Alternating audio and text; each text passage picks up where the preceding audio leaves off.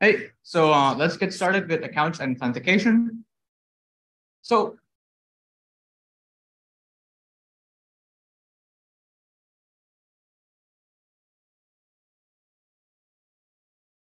uh, you know, web applications need accounts, right? If you use Facebook, you need to log in. If you use the final version of Catbook, uh, you need to log in. And in order to have accounts, you need to have secure authentication. Just so you know, we're all on the same page. Uh, what we're talking about is how to add these login buttons to your website. You know how you can log in to Google or just log in with the username and password. Uh, that's what we're going to be talking about today. Uh, as a general overview, uh, we're going to start off with a bit more on the theory side. And then uh, depending on how much time we have, we might briefly go through uh, the authentication code in Catbook React and uh, the starter skeleton. Uh, but really, before we can get into you know secure authentication, uh, we should really define what we mean by authentication and secure. Uh, so authentication is simply the act of proving your identity uh, to another person. Uh, and there's actually a really large number of ways that you can do authentication. I mean, on the web, the most common way to do so is through just a password.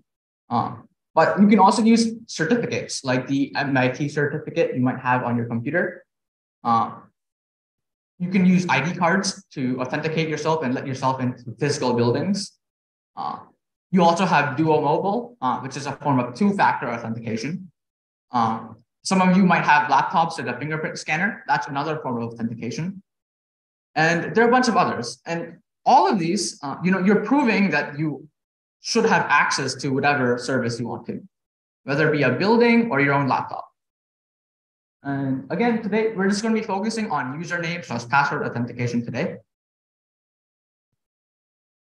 The other side to this is what exactly do we mean by secure, right? So for our purposes, what we mean by secure is that the server is not allowed to trust the client. And you know, this just raises the next question, right? What do we mean by trust? Uh, and to demonstrate this, we're going to give a bit of a motivating example. Uh, so let's consider the forming, uh, following form of authentication. It's very simple. The client is just going to tell the server, hey, I'm Bob. And the server is going to be like, okay. Now, clearly, this would be very, very problematic, right? Because if we had a hacker, uh, they could just pretend to be Bob very easily, right? And so this motivates like the first part. And that's the server cannot trust the client to give the correct inputs when uh, during an API call. Uh, it can't trust it to be correct. But we can actually take this uh, example a bit further. So at the top, we have the normal client. And what's actually possible is that the hacker can write their own version of your client. They can write their own version of your website, or at least the front end. And you know, it almost looks the same, right?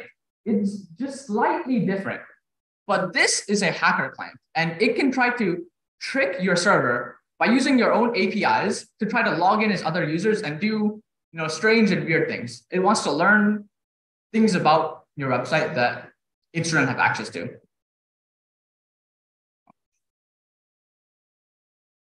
So in general, the server should assume that the hacker actually wrote the client. This is sort of the mindset we want to have when we're talking about secure authentication.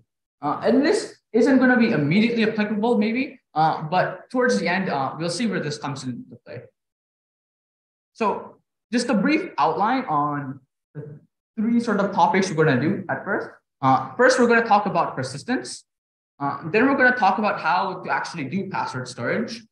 And then finally, we're going to talk about external authentication. You know, whenever you see like a login with Google or login with Facebook, and that is an example of external authentication.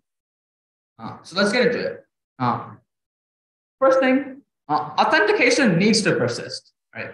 So imagine you were using Facebook, right? And each time you did an action, each time you tried to like a comment, each time you replied, each time you looked at someone's profile, each time you uploaded a photo. Imagine if every single time you did that, you had to log in, give your username and password. That would be really, really, really annoying. And what we want to do is create a way for people to log in once and have it persist. Even if that means if they refresh the page, if they close the tab, maybe even if they close the browser and open it back up again, uh, we want their authentication to persist. And there's really two sort of ways to go about this. Um, the first is through sessions, and the second way is through something called tokens. So we're going to get started off by talking about sessions. And session authentication is done in sort of four main steps. Uh, in the first step, we're gonna user is gonna submit a login API request. This is pretty imagine it's what you think it is, right? They're gonna submit their username and their password, and it's going to go to the server. What the server is gonna do is they're gonna first they're gonna check if the username and password are correct, right? And if they're correct, they're gonna look up the user's information. And what they're going to do is they're going to store this login into something called a session. A session is a mapping between session IDs and the user's information. And you can think of this as like a giant dictionary. And the key are going to be the session IDs, and the values are going to be the user information. And when a user logs in, the server is going to create a new session for that user. It's going to get a new session ID. It's going to look up the user information and store in the session. Finally, the response for this login request is going to be the session ID. And it's only going to be the session ID. There's going to be no user information included. Finally, the last step for the client is to save this session ID in a cookie. Now, if you've used the web at all, you've probably seen those um, banners. Uh, please accept our cookies, yada, yada, yada. Um, these are the same types of cookies, except less malicious because we actually need them for our website to work. What a cookie does is it allows information to persist, even through a refresh. And this is sort of what we were talking about earlier. So even if the user were to close their tab, uh, close their browser, or reload the web page, the data stored in a cookie is going to stay. Now, we can actually use the cookie in future requests. So when you send the request, a bunch of cookies are going to be sent with the request automatically. Now the server can look at these cookies, they can find the session ID, and uh, they can look up the user information. Once they have the user information, they can respond to the user request. So for example, if they're trying to look up like a profile picture of your own uh, account, once they have the user information, like the username, they can go ahead and look up their profile picture. And finally, the server is allowed to respond to the API request. So it happens in four steps. And again, the key thing to note is that the session information is stored on the server. Uh, what do we mean by session information? We mean the mapping between session IDs and the user information. Now, the key thing we want to ask when we're thinking about security is, is it secure? Does this make sense? So my question to you guys is, what happens if someone tries to send the wrong session ID? What happens if a hacker man sends an incorrect session ID? Can they do anything wrong? Uh, any takers?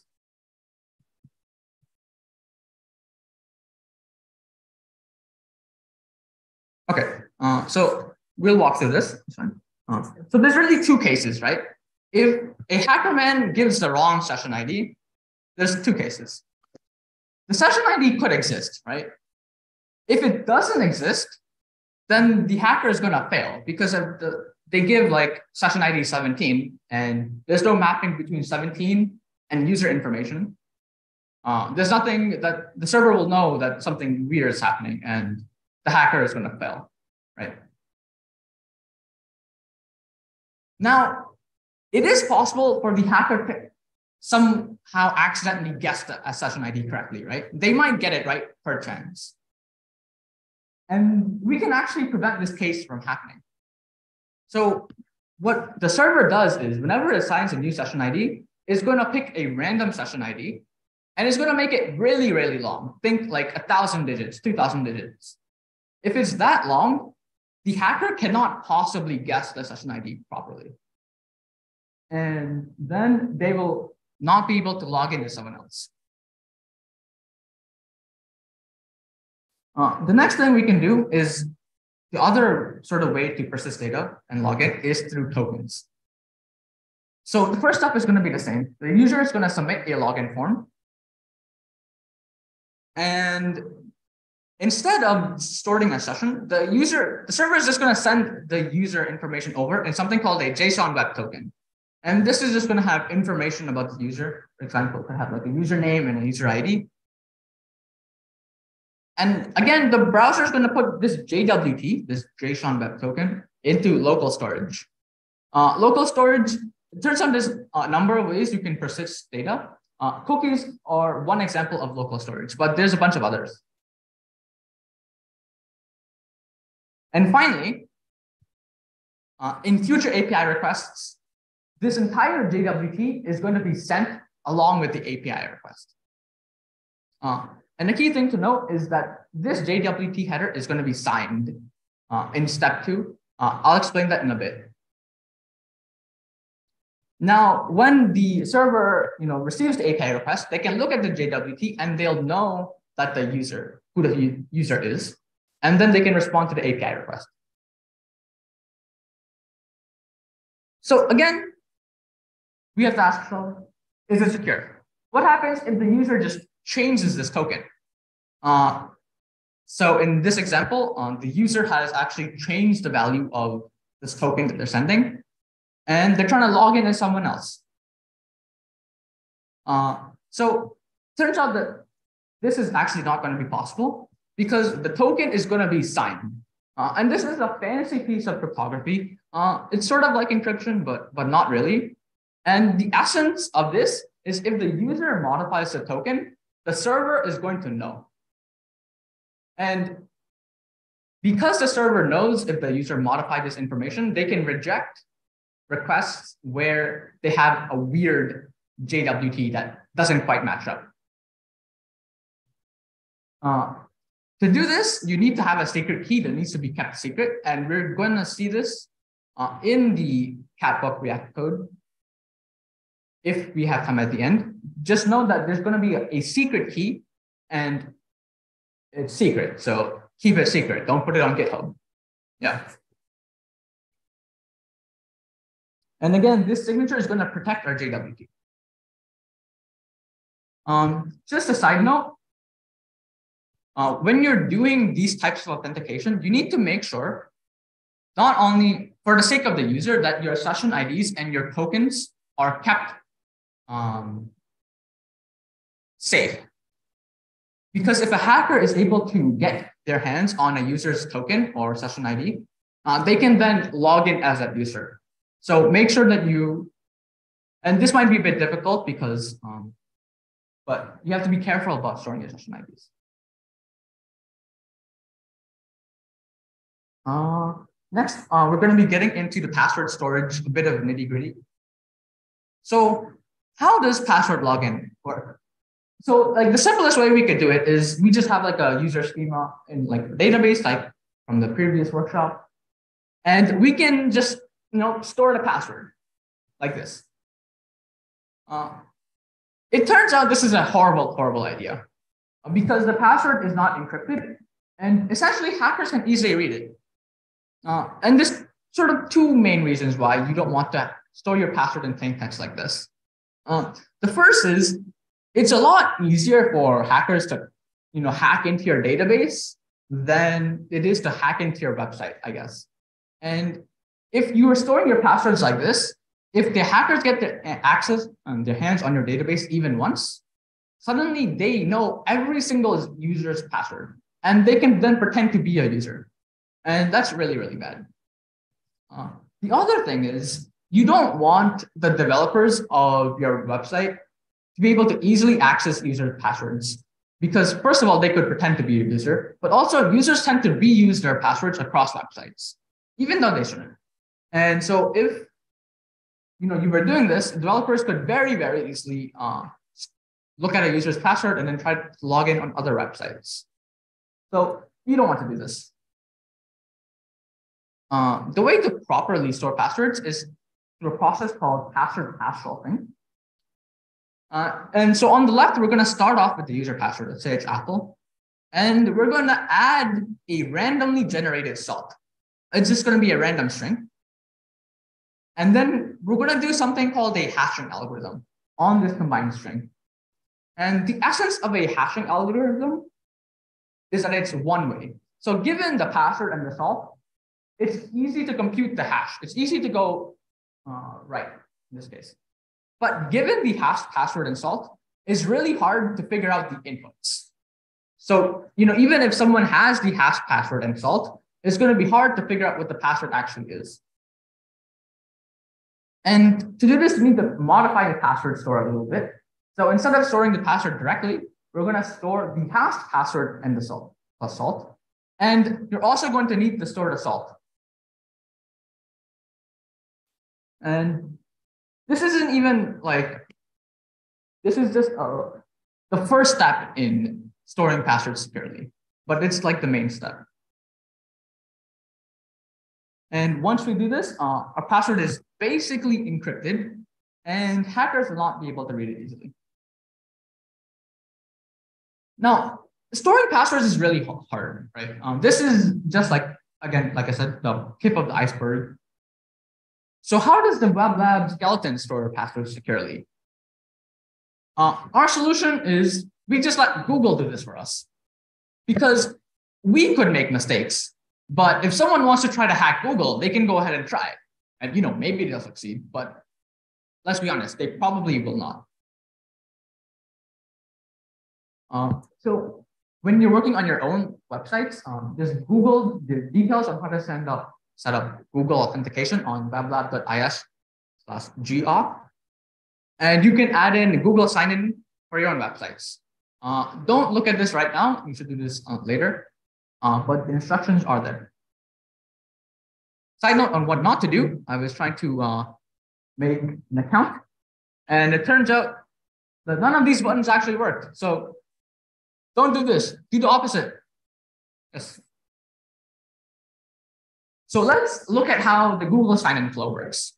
Uh, what the user, the client is going to do is it's going to make a login request directly to the Google authentication server. It's going to send the username and the password, and it's going to tell it success or false. Uh, once it happens, we can go to the server, be like, hey, I logged in. And then the server can go and do various API requests.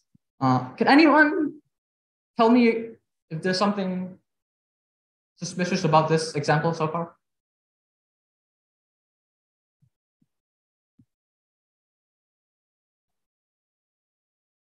Yeah, yeah exactly. In this example, we're trusting the user. And let me show you how. So what happens when the Google tells us, hey, you had the wrong password. Well, if the hacker has a modified client, they can still just tell the server, hey, I logged in as such and such email. And again, nothing stops us from lying about this. So instead, we're going to be going back to our sessions and our tokens. And reminder, never trust a user because the front end can be modified by anyone. So here is the actual assignment flow. The start is the same. Um, we're going to send them Gmail and password. And instead of telling us true or false, they're going to give us a success token. And when we go to the backend, instead of telling them, hey, I signed in, we're going to give them, hey, here's the token I got from Google. Now, what the server is going to do is, is going to ask Google, hey, is this token correct? And Google's going to be like, hey, this token is correct. And then finally, the server can handle the API requests and all is well. Now, if we had a hacker, even if they modified the client, Google would not give the client a token because they wouldn't be able to log in. And if you don't have a token, even if you try to send them something, the Google authentication library would be like, hey, this token is a fake. Don't trust this user. And the hacker would not be able to hack into this um, to the server or as the user. Uh, so we do have some time, so we might go a tiny bit over, but I'm gonna try to quickly run through how this looks in practice. Uh, we're gonna be starting off with the client side code. So currently, in maybe at the end of workshop six, this is what the front end looked like, the app, um, the app component, really, really small. And it's gonna turn into this huge thing. And don't worry, we're gonna work through it pretty quickly. First, we're gonna be starting off with this top half. So first thing is we're gonna have a user ID piece of state. And this state is gonna really serve two purposes. Uh, the first is you might want to just display the user ID somewhere in the app uh, as displayed to the user, but this is also going to be used as sort of like a flag to tell the rest of our website whether the user is logged in or not. So at the start, by default, it's going to be null because the user isn't logged in. Uh, but if we ever do set it to a string, we know that the user is logged in. Next, we have a use effect. So again, this use effect is going to law uh, trigger the function inside uh, once as soon as the app loads. And we're going to make an API request to our new API, uh, who am I? And the reason for this is even though we just loaded the app, the user might actually already be logged in because maybe they like refresh the page or maybe they close the tab the user might already be logged in, but currently we don't know. So we're going to ask the server, hey, am I already logged in? Now, if the user is logged in, then in the response, the user dot underscore ID is going to be set. And then we can go and call set user ID, and we can set our user ID to whoever we are logged in as. Uh, the next step is the handle login function. So to go back to our diagram, this is this part in our Google authentication sign-in. This is the part where the client tells the backend, hey, I logged in as such and such at gmail.com. Uh, can I get some data? So just walking through this, first we're going to get a user token. So res is going to be the response we get from when Google sends us a token in response, res is going to be that data. And within it, the actual token is going to be in res.tokenobj.id token. And finally, we call post and we send the server our token. Once we do that, once we get a response, we can set user ID and we're in, we're logged in. Uh, then we also have a handle logout uh, I'm going to skip this. It just sets the user ID to null because we're logging out. Okay, next up, we have our navbar. Uh, we've changed the props. So we're going you're going to be giving the navbar three props. Uh, our handle login and handle logout functions, as well as the user ID. And we can see how the navbar changes. Um, but first, our navbar, this is in navbar.js. Uh, we're going to be importing the Google login and Google logout components from React to Google login. So nice thing about React is we can actually import entire components from our libraries. And here we're importing an entire login and logout button. And finally, we have this const Google client ID. Uh, so when you set up Google authentication for your own websites, you're going to get a client ID and you can use that and basically, this client ID is a way of telling Google, hey, this is the website someone is trying to log in as. Uh, it doesn't tell Google the user, it tells the Google which website they're trying to log into. And then finally, we have our main uh, login logout code. Again, this is um, this part of the sign-in workflow where the user tries to log in to Google. And just looking at this pretty quickly, uh, we have a ternary statement or an if statement. So depending on whether user ID is set or not, uh, we're going to either display a logout button or a login button. If the user ID is not null, if it has some string value in it, then we're going to display a logout button, right? Because if they if it's set, then they don't need to log in anymore. They just need to log out. And to this logout button, we're going to give it the on logout success is props.handle logout, which means when once the logout, you know, runs, once it's done, we're going to call our handle logout. And on the other side, if props user ID is null, then we have our login. And once we successfully log in, we call on success props.handle login. And that will trigger the post request to the server and all the stuff that we were talking about before. Uh, we're going to skip past this in the interest of time. Uh, but as a summary, we have get. Uh, if you want, if you're looking at the slides and you want to learn about the stuff I skipped over, you can come to office hours in the future. But a quick client summary, we have get three new endpoints. We have get API slash whoami, post API slash login, and post API slash logout. Uh, briefly running through some of the server-side code. Um, if you look at API.js, we're going to have three new endpoints, okay, corresponding to what we just summarized. Uh, on the login and logout endpoints, we're going to call auth.login. Auth.js is a new file with all of our authentication code. And finally, we have router.get who am I. So for who am I, we want to send the user their user ID or their user information. So we're going to be storing this information in req.user. So if req.user is has a value, we're going to send them req.user. Otherwise, we're going to send them empty brackets or basically basically an, an empty response. Uh, now, some of you might be wondering, hey, req.user, well, rec is request. So req.user is part of the request. So doesn't that mean that the uh, user or the client can just change whatever is in req.user? Uh, and if you're thinking this, your instincts are good, but don't worry. Req.user, even though it seems like it's part of the request, it's actually set by the server. And we'll see where this happens later on. Uh, okay, moving on to auth.js, all of this stuff. Let's start at the top. So again, we have a client ID and we have this OAuth2 client.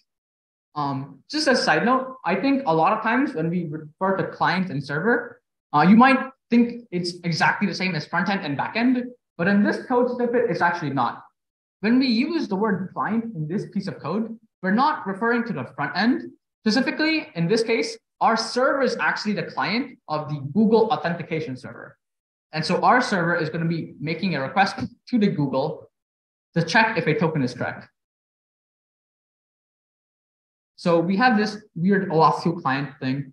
Don't worry about it. This is just how you make a request to Google. This is how you use the Google library.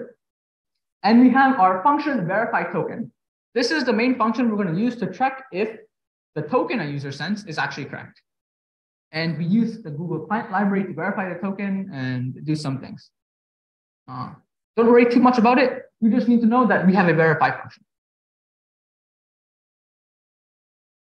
Uh, and again, this is sort of the spot in our workflow that we're talking about.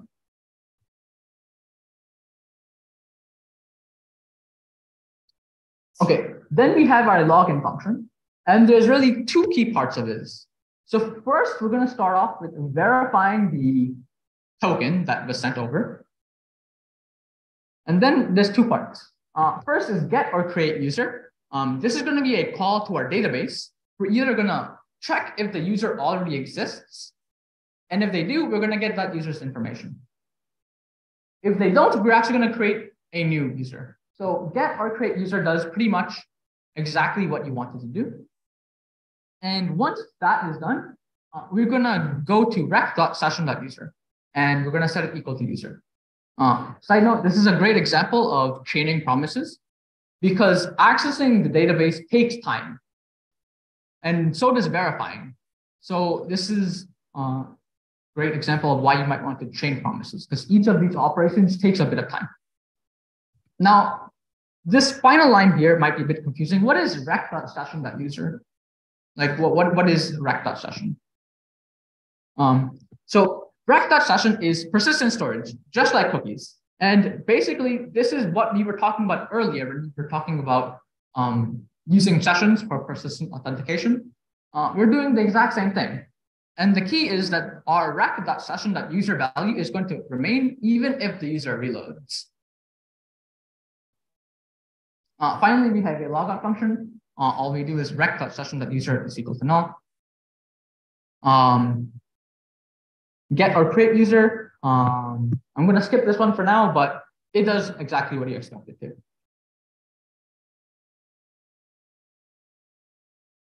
Um, okay. Next up, we're going to have a piece of code populate current user. And here is where I told you not to worry about req.user. That's because in populate current user, we set req.user to be req.session.user. Uh, and this is an example of an express middleware. So if you look in the file server.js, we have app.use auth.populate current user. And what this means is this is sort of near the top of the file. And so what happens is every single time, every single time you make an API request to your server, auth.populate current user is going to run. And it's going to set req.user to be req.session.user. And this means the rest of our app can use whatever value is in req.user and knows that it's correct. And then finally, uh, we have this code snippet here, app.use session and this weird thing. Well, what's happening here? So remember, again, we were talking about sessions. Uh, that piece of code is setting all of this up for us. Uh, this is going to create sort of a session store, and it allows us to use the req.session to store information about each user. Final thing, remember how I said that we might want to use um, secret keys for signatures? Uh, this is where that comes into play. We have a secret, right now it's session secret. If you're writing your own website and you want it to be secure, pick an actually secret value and hopefully your app will be secure. Uh, any final questions?